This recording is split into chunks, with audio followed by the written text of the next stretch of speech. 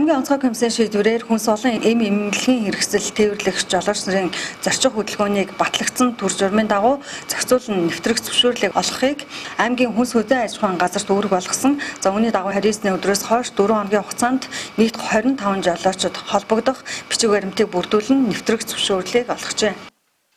За өнгөрсөн дооны 5 дахь өдрөөс зөвшөөрөл олгож эхэлсэн байгаа. За эхний өдөр бол бид нар 7 жолоочод зөвшөөрөл олгосон. За нийтдээ 23 жолоочод GPS хяналтын системийг суулгаж өгсөн байж байгаа. Нийтдээ манай дээр бүртгэлтэй нэг 58 орчим жолоочийн бүртгэл байна. Тэгээ сүүлийн өдөр нэмэгдээд за нэг 60 гаруй жолоочийн бүртгэлтэй болж байна.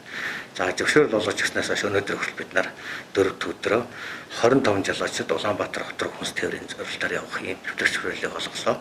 За дээрэс нь 41 жолоочд ингээд GPS хяналт системийг суглаж өгсөн ийм одоо байдалтай явж байна. За жолооч нар шинжилгээ өгч байгаа асуудлуудыг бид нар нэгдсэн эмнэлэгтэй ярьж зохицуулсан байгаа.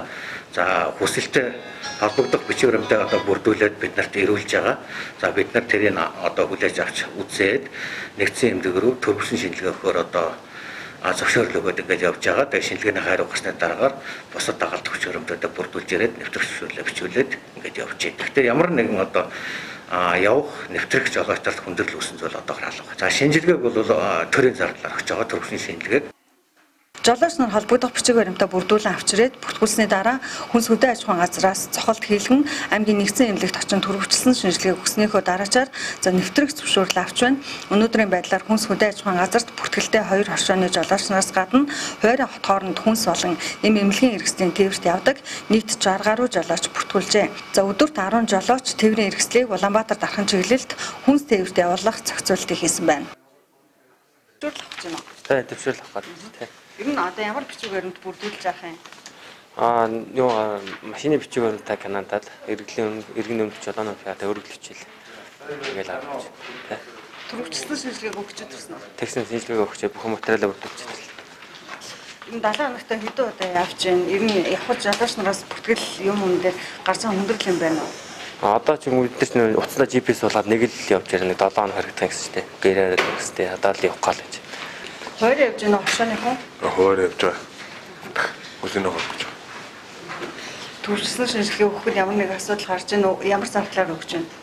Одоо ер нь эндээс цогцол хэлэгчүүл ер нь гайгүй өөртөө өгч байгаа. Журамтайгаа уншиж танилцсан уу? Журам дээр юу гэсэн байна? Ер нь жолооч нар ямар шаардлагыг биелүүлэх ёстой байна? Ер нь бол ийч явахгүйгээр хүн амьтан тээвэрлэх бүлэнд тэгэл ганцаараа ер нь явах тийм бүл хэлтэй.